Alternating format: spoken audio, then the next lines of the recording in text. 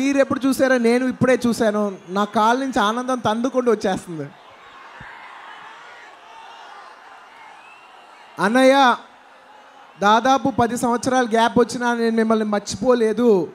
మాకు చూపించుకునే అవకాశం దొరకలేదు అన్నయ్య కానీ వచ్చే అవకాశం వస్తే కానీ మేము వచ్చి చూపిస్తామని ఇక్కడ కదిలి వచ్చిన ప్రతి ఒక్క అభిమానికి నేను మనస్ఫూర్తిగా ధన్యవాదాలు తెలియజేసుకుంటాను.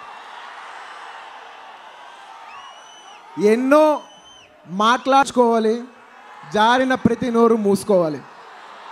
థ్యాంక్ యూ బాగుంటుందో? పదేళ్ళుగా ఆల్మోస్ట్ ఏడెనిమిదేళ్ళుగా నా కోరిక వివి వినాయక్ గారు తీస్తే అదిరిపోద్దని. వివి వినాయక్ గారే వచ్చారు. ఏ నా కోరిక ఏదో ఆ కోరిక అలాగే ఒక దీవెనలాగా వచ్చి దిగి చెప్